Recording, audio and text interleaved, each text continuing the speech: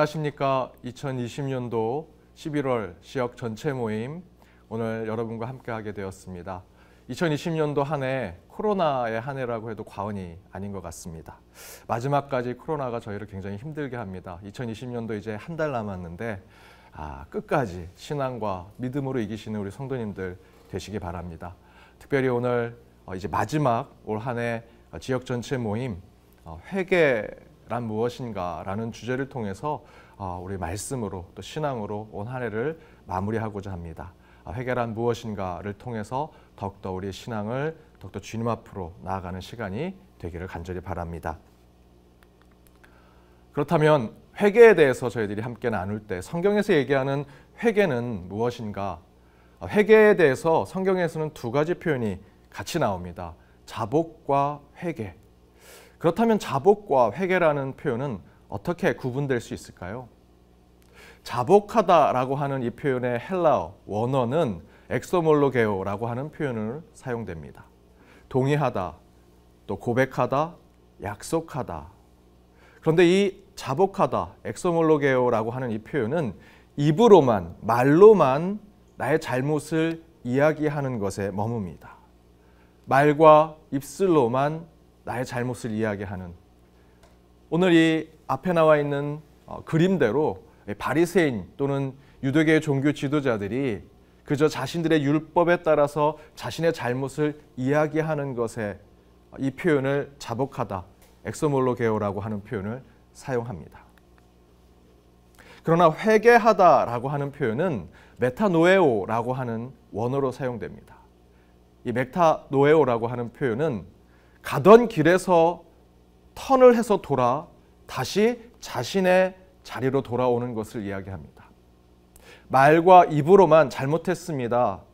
나의 잘못을 동의합니다. 나의 잘못을 고백합니다. 라고 끝나는 것이 아니라 그 말과 입으로 한 것에 그 행동으로 잘못된 것을 되돌이, 되돌이키는 것을 회개하다. 메타도에오라는 표현을 사용하지요. 그래서 이 자복과 회개는 이렇게 구분될 수 있습니다. 첫 번째 구분은 하나님 제가 이런 잘못을 범했습니다. 다시는 하지 않겠습니다. 라는 것은 자복이죠. 하나님께 기도로 입술로 내 말로 고백하는 것, 시인하는 것은 자복이라고 할 수 있습니다.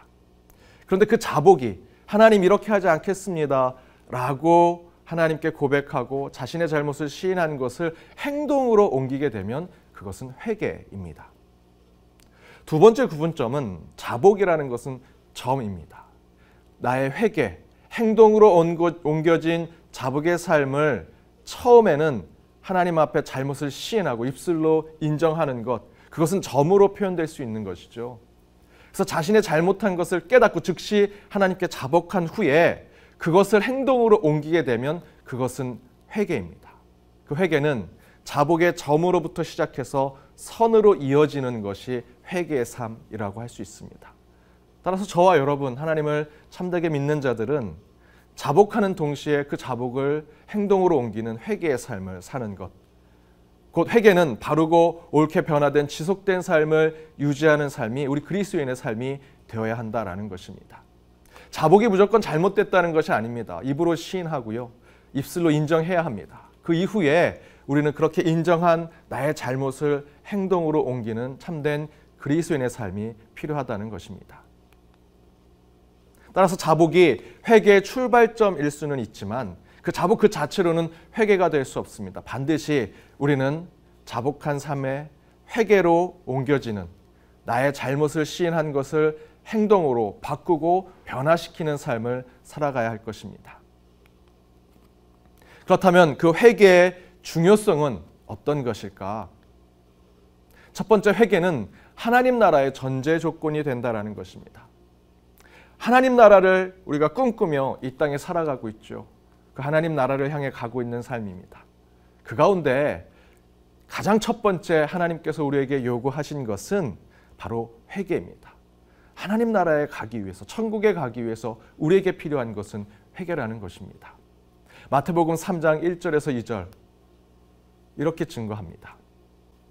그때 세례 요한이 이르러 유다 광야에서 전파하여 말하되 회개하라 천국이 가까이 왔느니라 하였으니 그 다음에 나와 있는 마태복음 4장 17절에도 이렇게 증거합니다. 이때부터 예수께서 비로소 전파하여 이르시되 회개하라 천국이 가까이 왔느니라 하시니라.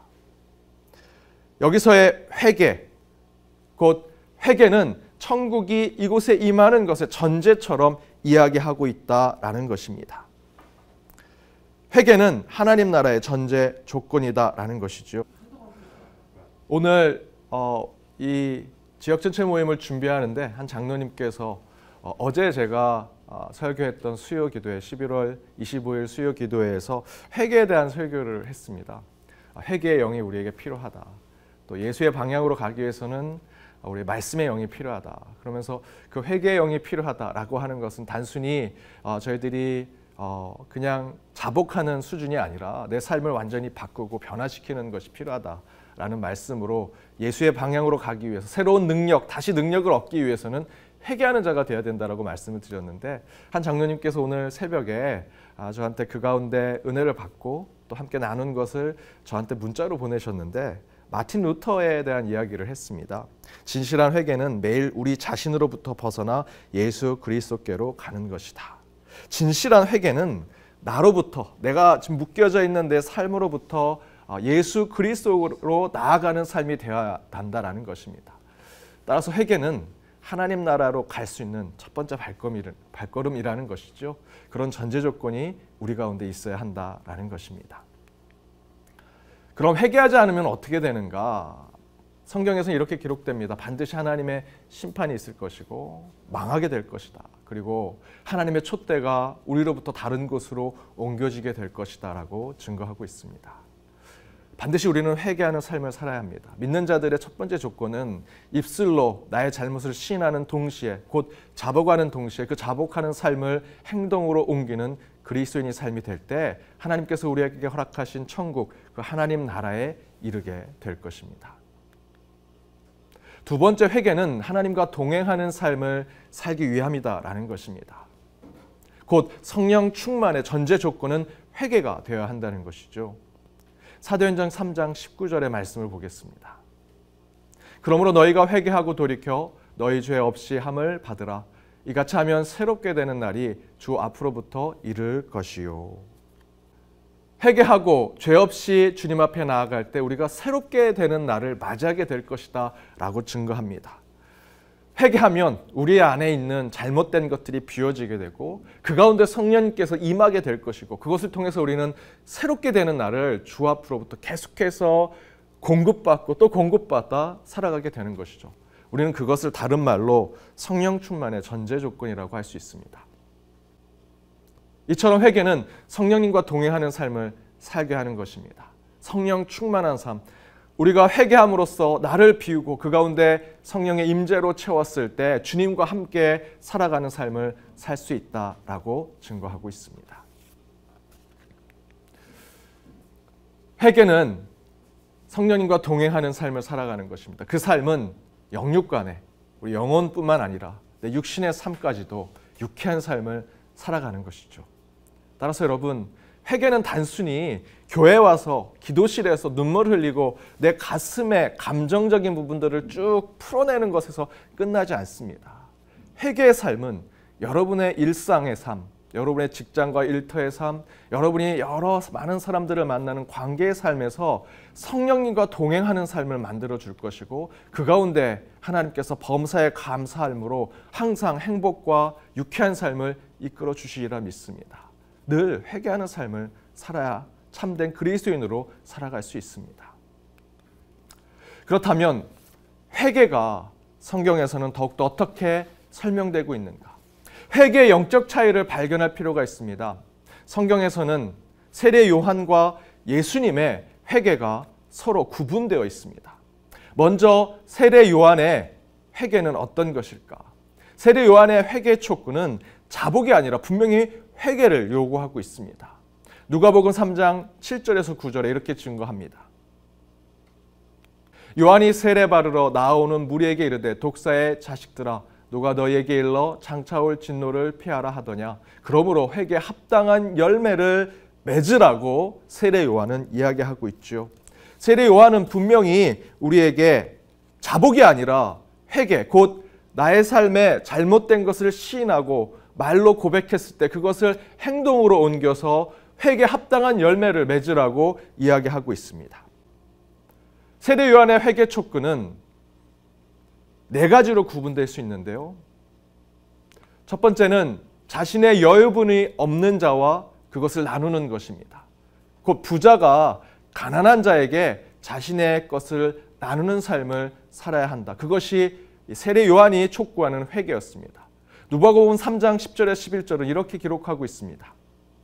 무리가 물어 이르되 그러면 우리가 무엇을 하리이까 대답하여 이르되 옷 두 벌 있는 자는 옷 없는 자에게 나눠 줄 것이요 먹을 것이 없는 자도 그렇게 할 것이니라 하고 세례 요한은 자신이 가지고 있는 것이 넉넉한 자들이 없는 자들에게 나눠야 한다. 그것이 곧 회개다라고 이야기하고 있지요. 두 번째는 세리들에게 법으로 정한 세금 외에 능징치 말라라고 얘기하고 있습니다. 누가복음 3장 12절에서 13절입니다. 세리들도 세례를 받고자 하여 와서 이르되 선생이여 우리는 무엇을 하리이까 하매 이르되 부과된 것 외에는 거두지 말라 하고 예수님이 세례 요한이 세리들에게 이야기한 회개의 중요한 부분은 너희들이 정한 것 외에는 더가 더 거두지 말라. 너희들이 법에 정한 대로 그대로 행한다면 죄가 되지 않을 것이다. 그러나 그 당시 세리들은 더 많은 것들을 착취하고 약탈했습니다. 그것에 대해서 회개를 촉구하고 있죠. 세 번째는 군인들은 강포, 협박하고 무소, 중상 모략하지 말고 요, 곧 그들이 받고 있는 봉급에 족한 줄 알라라고 이야기하고 있습니다. 누가복음 3장 14절입니다. 군인들도 물어 이르되 우리는 무엇을 하리이까 하매 이르되 사람들에게 강탈하지 말며 거짓으로 고발하지 말고 받는 급료를 족한 줄로 알라. 세례 요한은 군인들에게 강포하고 무소하고 받은 요 봉급에 족한 줄 알며 살아가라. 사람들을 괴롭히지 말고 그들에게 이간질하지 말고 너희들이 받는 그 봉급에 족한 줄 알고 살아가는 것이 회개하는 삶임을 이야기하고 있습니다. 또한 네 번째 권력자들은 권력을 남용하여 악한 짓을 하지 말라고 이야기하고 있습니다. 누가복음 3장 19절 말씀입니다. 분봉왕 헤롯은 그의 동생인 아내 헤롯디아의 일과 또 자기가 행한 모든 악한 일로 말미암아 요한에게 책망을 받고 권력자들에게 세례 요한은 회개를 촉구했습니다. 권력을 남용하지 말고 악한 짓을 하지 말라. 아, 누가복음 3장 19절의 말씀처럼 어, 이 세례 요한은 아주 강력하게 권세 잡은 자들에게 회개를 촉구하는 것들을 볼 수 있습니다. 그러나 여러분 세례 요한의 회개 촉구는 사실상 실패했습니다. 세례 요한의 회개 촉구가 사실은 굉장히 중요하고 우리가 귀담아 들어야 할 것이지만 그 안에는 그것이 그대로 사람들에게 적용되지 못했던 것을 확인하게 됩니다. 모든 사람이 그 가운데 되돌키지 못했습니다. 그래서 마가복음 1장 14절 15절에서는 이렇게 기록합니다. 요한이 잡힌 후 예수께서 갈릴리에 오셔서 하나님의 복음을 전파하여 이르시되 때가 찼고 하나님 나라가 가까이 왔으니 회개하고 복음을 믿으라. 여기에서 중요한 표현이 있습니다. 예수님께서 세례 요한과 똑같은 복음을 전합니다. 회개하라. 하나님 나라가 가까이 왔다. 그런데 그 표현 앞에 무엇이라 기록되어 있냐면 요한이 잡힌 후라는 표현이 사용되고 있습니다. 역사적으로 시간적으로 예수님께서 복음을 전했던 것은 요한이 잡힌 후 전하, 예수님께서 복음을 전하셨다. 곧 회개하라 천국에 가까이 왔다라는 세례 요한의 복음을 전하신 것이죠. 그런데 여기에 중요한 시간적인 절차도 중요하지만 매우 영적인 중요한 부분을 이야기합니다. 세례 요한이 잡혔다라는 것입니다.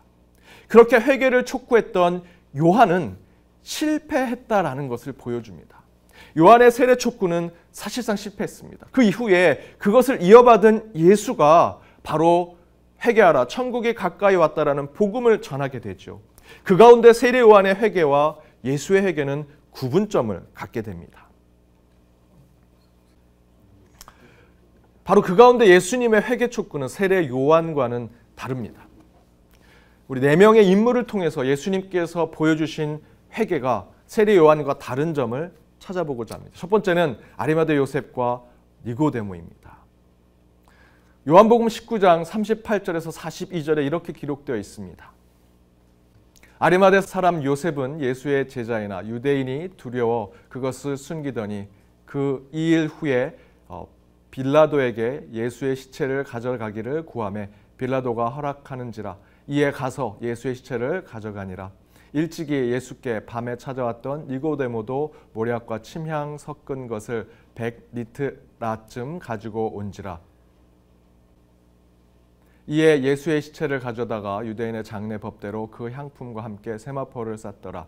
예수께서 십자가에 못 박히신 곳에 동산이 있고 동산 안에 아직 사람이 장사한 일이 없는 새 무덤이 있는지라. 이날은 유대인의 준비이요 또 무덤이 가까운 고로 예수를 거기에 두니라. 아리마대 요셉은 어, 오늘 읽으신 이 요한복음의 말씀대로 예수님의 시체를 받아서 장례를 지내는 일을 합니다. 그리고 니고데모도 그 장례 일을 하는 것에 함께 동참을 하지요. 그들은 단 한 번도 예수님께 질책을 받거나 강권적인 회개의 명령을 받지 않습니다. 그 전에 그들에게 예수님께서 보여주신 것은 그들에게 향한 사랑과 관용이었습니다. 아리마드 요셉, 니고데모는 사실 예수님을 그대로 받아들이는 사람들이 아니었습니다. 그럼에도 불구하고 그 두 사람은 그의 제자들, 예수님의 제자들이 아무도 장례를 치르려고 하지 않을 때 오히려 이 두 사람이 나와서 예수님이 십자가에서 돌아가신 것에 오히려 예수님의 시신을 장례 치르는 것에 적극적으로 행동합니다. 그 행동 자체는 바로 예수님을 향한 자신의 회개의 모습을 실천하는 것입니다. 예수님은 이 둘에게 직접적인 회개의 요구를 하지 않으셨습니다. 하지만 그들은 자발적으로 회개의 삶을 실천하는 모습을 보이지요. 사실 공개적으로 예수님의 시신을 장례를 치르겠다라고 나오는 것은 쉬운 일이 아닙니다. 그러나 아리마대 요셉과 니고데모가 그렇게 행동하는 것은 자신들에게 굉장히 불리한 조건이 됨에도 불구하고 예수님의 시신을 장례하는 것으로 자신들이 받았던 예수님의 사랑과 그 관용과 국률에 대한 회개의 삶을 실천하는 모습이라고 할 수 있습니다. 두 번째는 사개오입니다. 누가복음 19장 1절에서 9절 말씀에 보시면 예수께서 여리고로 들어가 지나가시더라. 사개오라 이름하는 자가 있으니 세리장이요 또한 부자라. 그가 예수께서 어떠한 사람인가 하여 보고자 하되 키가 작고 사람이 많아 할 수 없어 앞으로 달려가서 보기 위하여 돌 무화과 나무에 올라가니 이는 예수께서 그리로 지나가시게 되미러라. 예수께서 그곳에 이르사 쳐다 보시고 이르시되 삭개오야 속히 내려오라 내가 오늘 내 집에 유하여 하겠다 하시니 급히 내려와 즐거워하여 영접하거늘 무사람이 보고 수군거려 이르되 저가 죄인의 집에 유하러 들어갔도다 하더라. 사개오가 가서 주께 여짜되 주여 보시옵소서 내 소유의 절반을 가난한 자에게 주겠사오며 만일 누구의 것을 속여 빼앗은 일이 있으면 내 갑절이나 갚겠나이다. 예수께서 이르시되 오늘 구원이 이 집에 이르렀으니 이 사람도 아브라함의 자손이미로다. 사개오는 예수님의 구원을 받은 자가 되었습니다. 그런데 여러분 여기서 중요한 것이 이 누가복음 19장 1절에서 9절 말씀을 통해서 본다면 예수님의 사랑과 사교의 회개 순서가 서로 아주 분명하게 기록되어 있습니다. 사교회가 먼저 제가 받은 것을 사람들에게 나눠주겠습니다. 이제 불법적으로 거둔 것을 하지 않겠습니다. 라고 표현했을 때 그래 내가 너에게 사랑을 베풀고 너를 용서할게 라고 하지 않으시죠. 말씀을 확인해 보시면 아시겠지만 아, 예수님의 사랑, 예수님의 긍휼, 그를 향한 예수님의 마음이 먼저 표현되었을 때 사교회가 회개하는 모습을 보게 됩니다.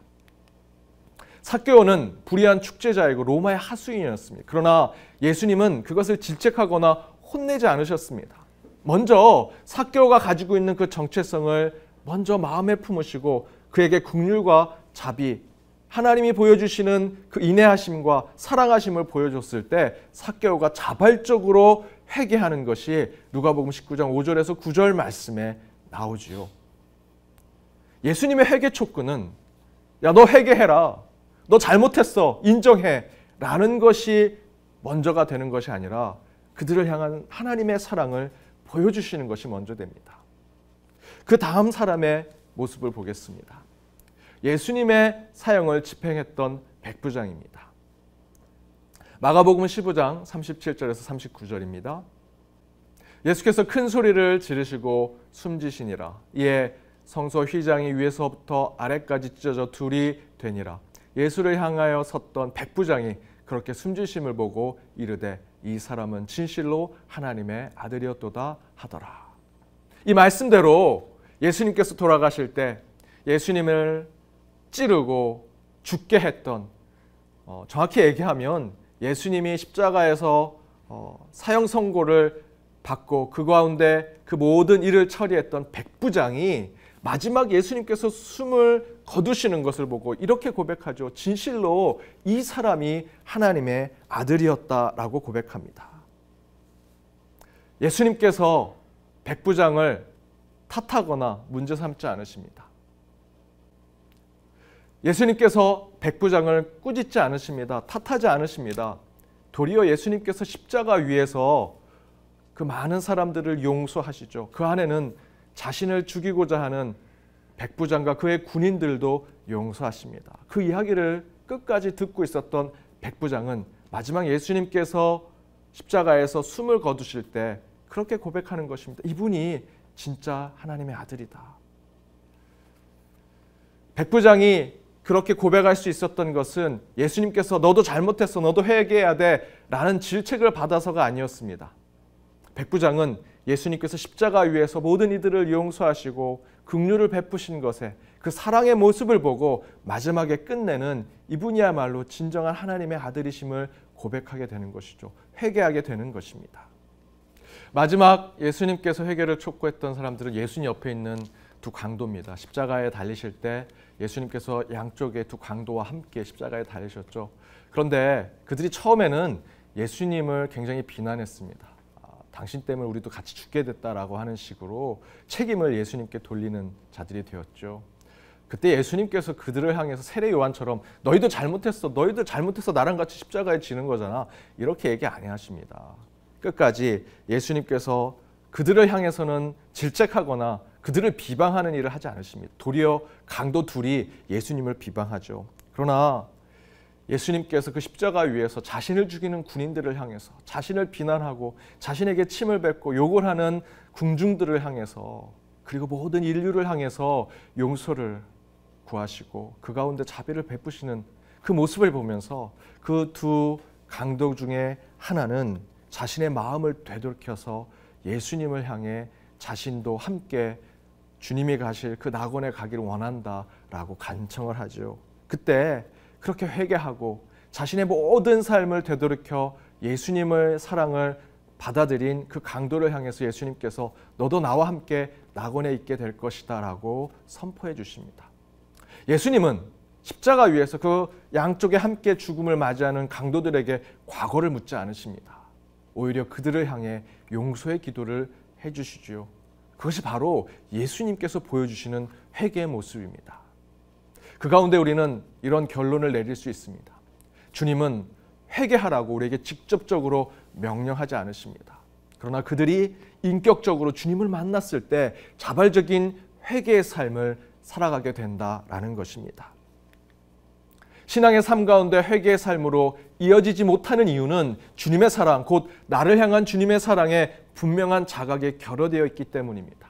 주님의 사랑을 인격적으로 깨달을 때 우리는 회개하게 되죠. 다른 말로 표현한다면 우리는 하나님을, 우리 주님을 인격적으로 만나지 못하기 때문에 그 가운데 저희는 계속해서 교리적으로 회개하라. 너 죄를 하나님께 용서를 구해라 라는 것에 묶여 살아가는 것입니다. 그러나 우리가 인격적으로 영적으로 주님을 온전히 만나게 된다면 앞에서 함께 나눴던 니고데모와 또 예수와 함께 달렸던 두 강도와 사케오, 아리마드 요셉 그들처럼 우리도 예수님을 만나고 인격적으로 만나고 영적으로 주님을 깨닫게 되었을 때 우리 스스로 자발적으로 주님 앞에 회개하는 자가 될 수 있다라는 것입니다. 그 출발은 주님이 우리를 사랑하시는 것. 우리가 율법적으로 깨달아서 회개하는 것이 아니라 예수님은 우리로 하여금 그 한없는 사랑을 베풀어 주실 때 그것에 감당할 수 없어서 그 은혜에 감당할 수 없어서 저와 여러분 그리고 성경의 많은 인물들은 그 주님의 사랑에 회개하는 자가 되었다라는 것이죠. 저와 여러분이 그런 예수 그리스도께서 베풀어 주신 은혜를 통한 구원을 통한 회개하는 자의 삶을 살아가기를 바랍니다. 그렇다면 예수 그리스도께서 우리에게 베풀어 주신 그 회개를 우리 말씀 속에서 다시 한번 하나하나 살펴보면서 우리 안에 다시 새겨지는 회개의 삶을 생각해 보고자 합니다. 그 첫 번째 인물은 탕자입니다. 탕자의 이야기는 이렇게 기록되어 있습니다. 누가복음 15장 20절에서 24절입니다. 이에 일어나서 아버지께로 돌아가니라. 아직도 거리가 먼데 아버지가 그를 보고 측은히 여겨 달려가 목을 안고 입을 맞추니 아들이 이르되 아버지 내가 하늘과 아버지께 죄를 지었사오니 지금부터는 아버지의 아들이라 일컬음을 감당하지 못하겠나이다 하나. 아버지는 종들에게 이르되 제일 좋은 옷을 내어다가 입히고 손에 가락지를 끼우고 발에 신을 신기라. 그리고 살찐 송아지를 끌어다가 잡으라. 우리가 먹고 즐기자.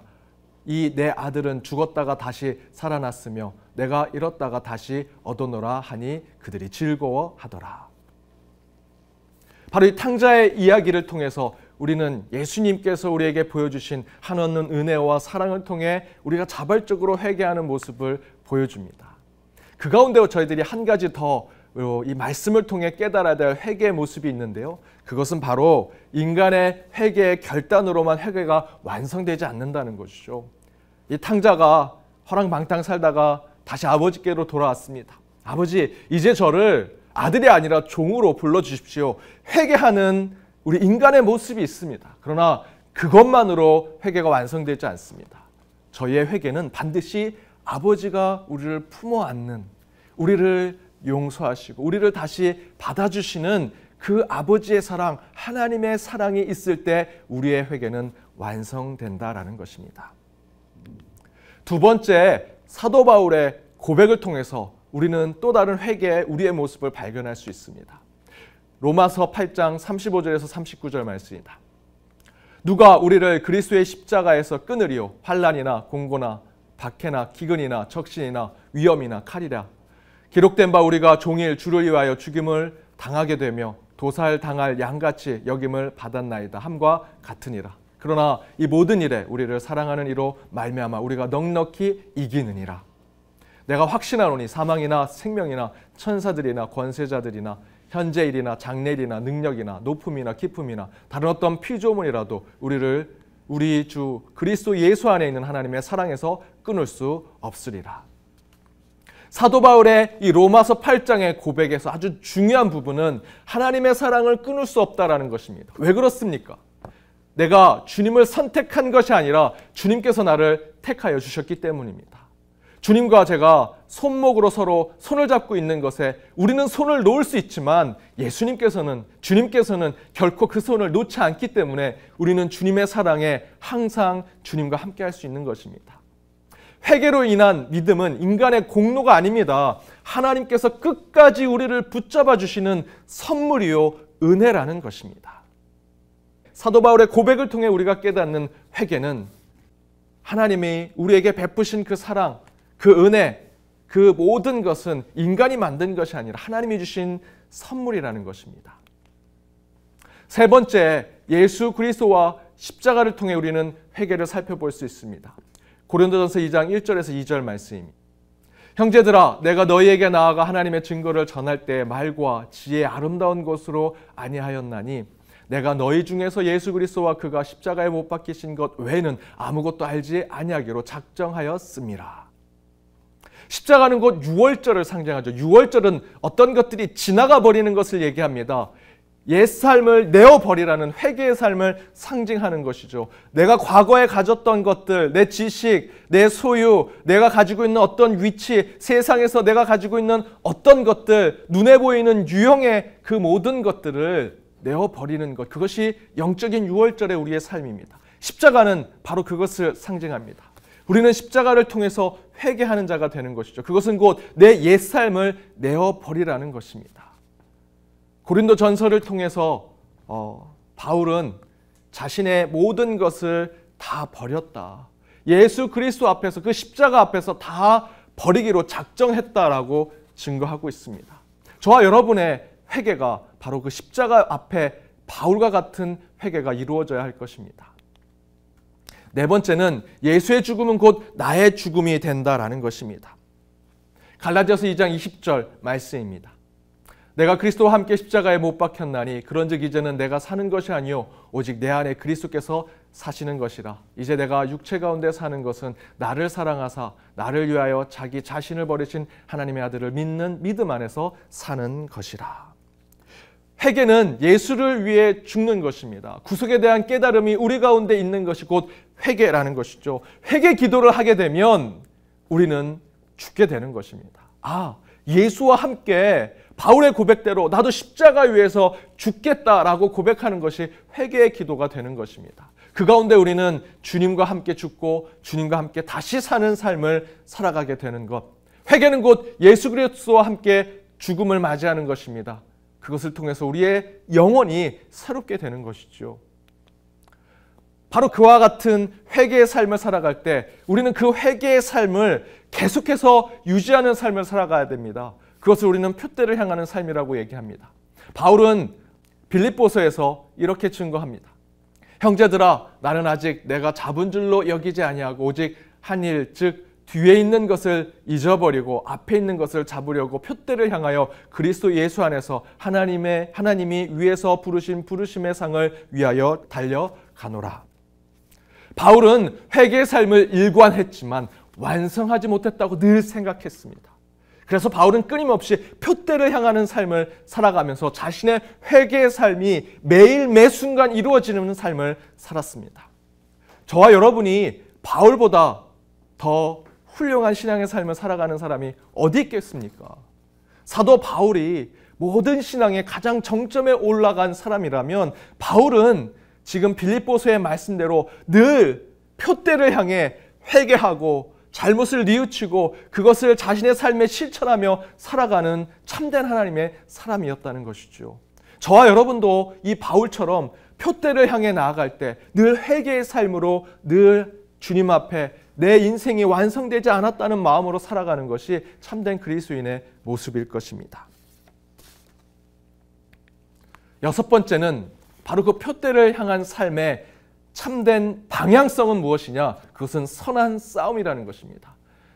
우리가 회개하는 삶을 살아간다. 바울처럼 표대를 향해서 늘 매일 매 순간 회개의 삶을 살아가되 그 회개의 삶의 목적은 선한 싸움을 싸우기 위한 것입니다. 디모데후서 4장 7절에서 8절에 바울은 이렇게 얘기합니다. 나는 선한 싸움을 싸우고 나의 달려갈 길을 마치고 믿음을 지켰으니 이제 후로는 나를 위하여 의의 면류관이 예비되었으므로 주 곧 의로우신 재판장이 그날에 내게 주실 것이며 내게만 아니라 주의 나타나심을 사모하는 모든 자에게 도니라. 하나님의 사랑으로 회개의 삶을 살았던 바울은 죽을 때까지 회개하는 삶을 살았고요. 그 회개하는 삶을 사는 목적은 주님이 우리에게 주신 선한 삶, 늘 주님 하나님 나라를 꿈꾸는 삶, 그 삶을 위해 선한 싸움을 끝까지 싸우겠다 결단하는 것.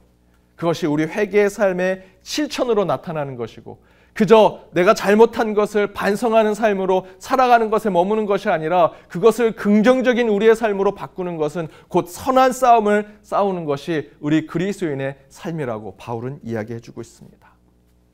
그러나 이 모든 것을 이룰 수 있는 것은 곧 은혜지요. 로마서 8장 29절에서 30절 이렇게 증거합니다.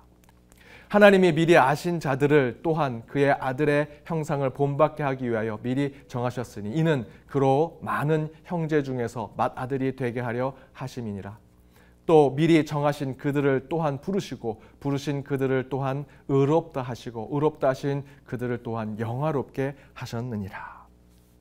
주님의 불광역적인 은혜와 사랑으로 회개의 삶을 살 수밖에 없는 고백을 우리는 들었습니다.